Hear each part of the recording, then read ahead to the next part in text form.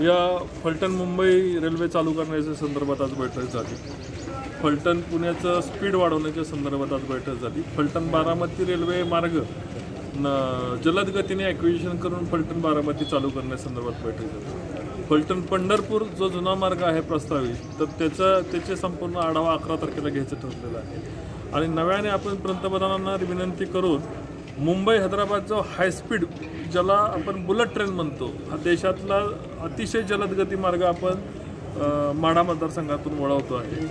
त्या मार्गाच्या संत संदर्भात आढावा बैठक आपण पुण्यामध्ये अरेंज केली. त्याची आज आपण माहिती घेतलेली आहे. तर एकंदरीत रेल्वे जी आता आता रेल्वेचं दळणवळण या माढा मतदारसंघातून आणि फलटण तालुक्यामधून फ फलटण पुणे चालू झालेलं आहे फलटण मुंबई चालू होत आहे आणि बुलेट ट्रेन चालू झाल्यानंतर हैदराबादला चाळीस मिनिटामध्ये आणि मुंबईला चाळीस मिनिटामध्ये जाता येईल.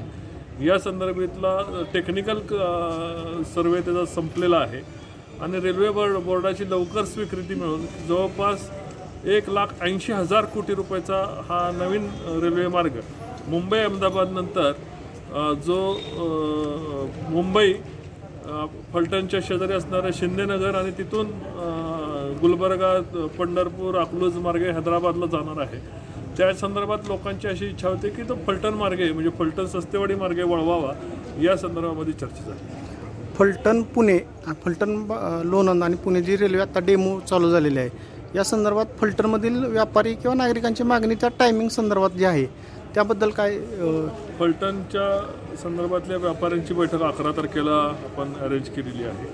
आणि त्याचं स्पीड वाढवण्याच्या संदर्भामध्ये आणि त्याला टायमिंगच्या संदर्भात पत्रकार आणि प्रशासकीय अधिकाऱ्यांची एक कमिटी करून त्यांनी जो टायमिंग देतील त्या पद्धतीने रेल्वे चालवेल अशा प्रकारे यात निश्चित झालेलं आहे